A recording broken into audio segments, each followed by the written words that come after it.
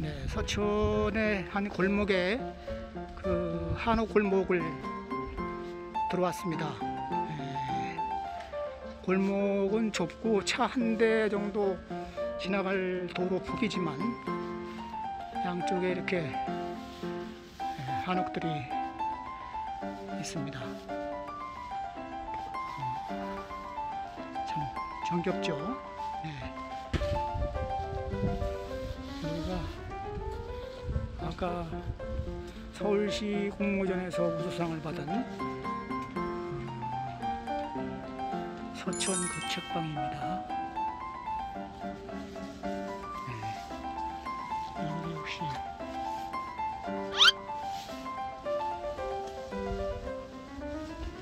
한옥으로 되어 있습니다. 네. 한옥이 아직도 살아 이 한옥이 헐리지 않게 좀 문화재로 좀 보관할 수, 있- 보존할 수 있도록 에, 좀 시나 어, 구에서 좀 신경을 썼으면 좋겠습니다. 네, 여기는 영희당이라고 게스트하우스네요. 예, 저렴한 가격으로 외국인 관광객이 들어올 수 있는 머무를 수 있는 그런 곳이죠. 칠보암인가요? 칠보암인데 여기도 마찬가지로 게스트 하우스입니다.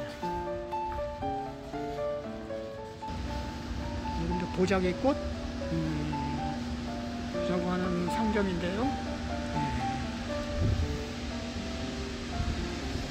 한국 전통 보자기를 어, 만들고 파는 곳인 것 같습니다.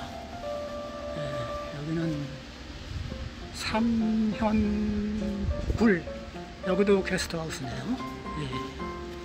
이제 여기는 꽃반지 금방이라고 여기는 서울시가 지난해 주관한 좋은 간판 공모전에서 종로구가 아니고 서울시가 주관한 좋은 간판 공모전 최우수를 받은 곳입니다. 네.